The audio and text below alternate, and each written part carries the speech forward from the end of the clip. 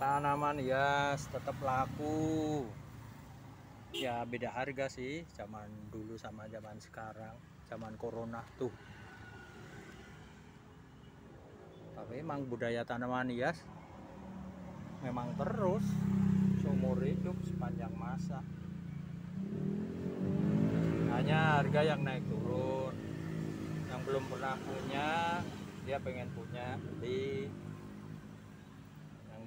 harga tinggi nggak kuat sekarang kuat beli. Begitu aja terus lamanya sampai kita nggak ada pun dunia tanaman hias tetap ada. Ganti generasi nanti tetap ada. Nggak ada yang imitasi